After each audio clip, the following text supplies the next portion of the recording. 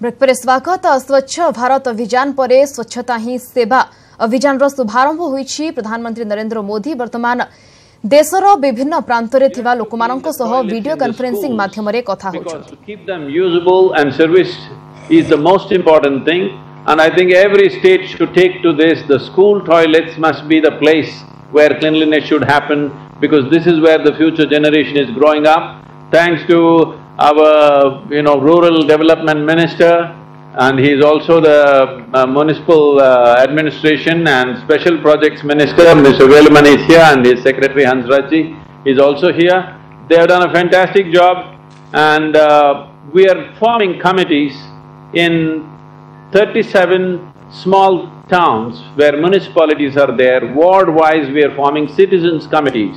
These committees are not protest groups, these uh, committees are not there to complain against the government, these committees are there to organize people to support the administration, to ensure those wards are clean. In thirty-seven municipalities and twelve city corporations, we are organizing board-level committees all across Tamil Nadu. We are planning to do this also in a few metropolis in the country wherever the necessary atmosphere comes in the next uh, coming year.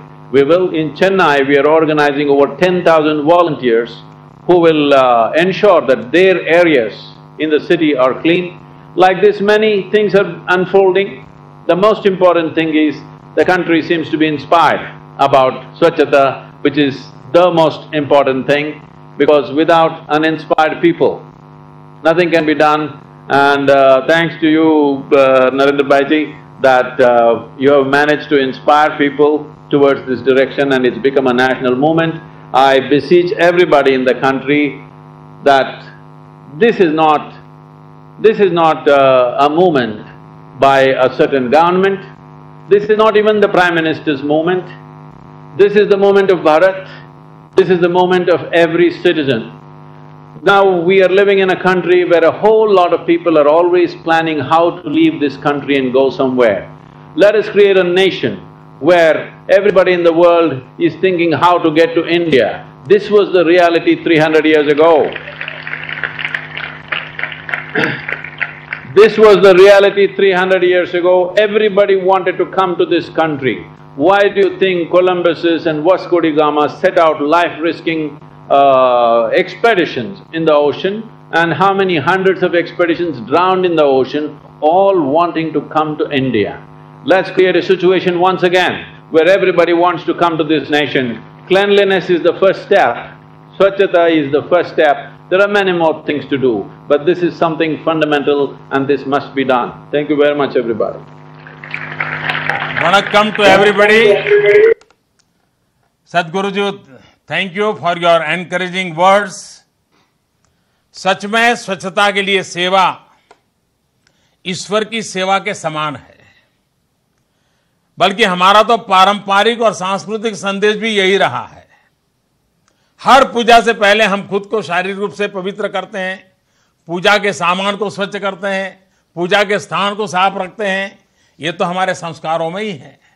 बस इन संस्कारों को फिर से याद दिलाने का यह अभियान है। मैं आपका विशेष आभारी हूँ कि आपने अपने सारे कार्यकर्ताओं से स्वच्छता सेवा करने का आग्रह किया है और पूरे तमिलनाडु के लिए आपने एक ऑर्गेनाइज वे में रचना करके काम को एक स्थायी रूप दिया है। मैंने तो आपके प्रयासों को खुद देखा है। नदियों की निर्मलता और अविरलता को आपने जिस प्रकार से बल दिया है, समर्पण भाव से काम किया है मुझे विश्वास है कि आपका ये आशीर्वाद निश्चित रूप से सेवा के इस भाव को और पवित्रता देगा और ताकत देगा। सदगुरु जी को सुनने के बाद आइए हम बिल्कुल छत्तीसगढ़ के उन जंगलों में चलते हैं जहाँ हमारे आदिवासी परिवार रहते हैं। कुछ उनसे बात सुनेंगे। आइए। नमस्कार प्रधानमंत्री मैं श्रीमती जागृति कश्यप, ग्राम पंचायत बड़े तुमना, ब्लॉक गीताम जिला दंतेवाड़ा से बोल रही हूँ। सर हाँ पंद्रह अगस्त 2014 में आपने दिल्ली से ऐलान किया था कि मेरे भारत को स्वच्छ भारत बनाना है। तो हमने देखा और सुना। तब हमारे गाँव में शौचालय नहीं होती थी और स्कूलों में भी नहीं होती थी। मेरे घर में शौचालय नहीं था, साथ ही मेरे माता पिता के घर में भी शौचालय नहीं था। तो मैंने आपके ऐलान को स्वीकारा और अपने घर में शौचालय का निर्माण किया, साथ ही माता पिता के घर में भी शौचालय का निर्माण किया और उसका उपयोग भी कर रहे हैं, जिसके स्वच्छ भारत मिशन के तहत हमें प्रोत्साहन राशि भी दी गई।